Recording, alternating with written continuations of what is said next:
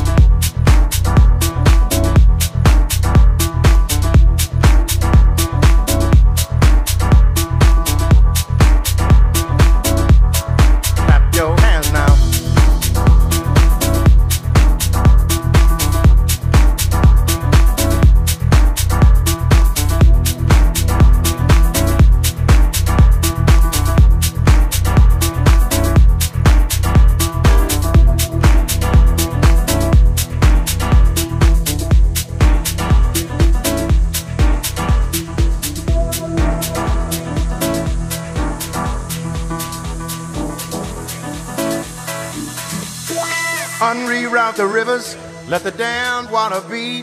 There's some people down the way that's thirsty, so let the liquid spirit free.